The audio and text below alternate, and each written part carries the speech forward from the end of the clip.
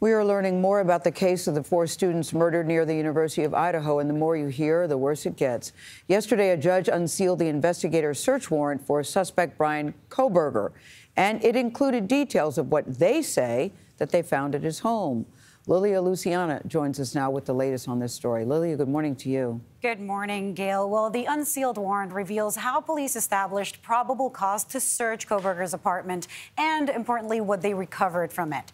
The documents present geolocation evidence from what investigators believe to be Kohberger's phone after the killings, alleging, quote, it is likely that he still had blood or other trace evidence on his body when he returned home, and, quote, likely that some trace evidence was transferred to areas in his apartment as a result. Police say the list of items seized from Kohberger's apartment in Pullman, Washington includes a nitrile type black glove, eight possible hair strands, a computer tower, collection of a dark red spot. We don't know exactly which item that was, it wasn't specified, plus cuttings of a reddish brown stain from an uncased pillow and two mattress covers with multiple stains.